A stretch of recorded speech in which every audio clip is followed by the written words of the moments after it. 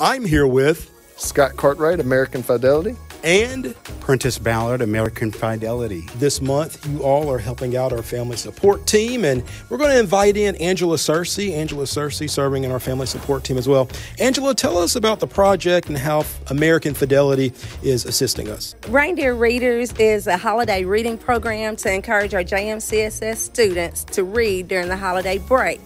Our students pre K through the fifth grade have an opportunity to read and be rewarded for their efforts during the holidays. The challenge that we have for students is to read as many books as they can during this holiday season, um, to read at least 20 minutes, a minimum of 20 minutes a day. Angela Searcy with our family support team.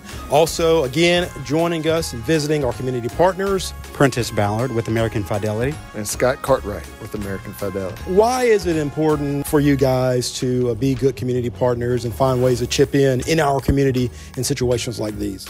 Well, we believe partnership is essential when it comes to the community. Uh, we believe that it takes a village to raise a child. With us presenting ourselves as a resource for the school system to do just that, we want to do our part and partner with the Jackson Madison County School System uh, in doing and making such an effort to reach out to our children in the community. Angela, when you go through events like this and you call on your community partners, because we know the Jackson Madison County school system is so much more than just an education resource. We also provide um, supports uh, for families. What is that process like when you call on community partners like American Fidelity?